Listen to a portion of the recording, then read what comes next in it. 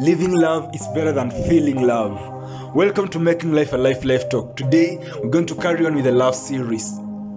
Let's discuss Eros love. This is romantic love, which is usually purposed to stir a sexual atmosphere and an experience.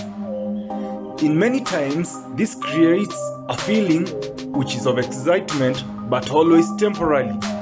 And if Eros love is enjoyed with the wrong person at the wrong time, sometimes it tends to leave one feeling disgusted and very energy low.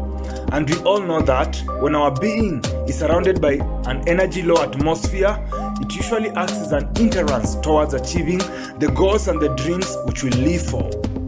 On the other hand, if one chills and enjoys with the right person at the right time, it acts as a motivation towards or which helps one reach or attain their life goals. So, what we need to learn is this we should always chill and enjoy Eros love with the right person at the right time so that it can help us better our lives and better other people's lives. Thank you.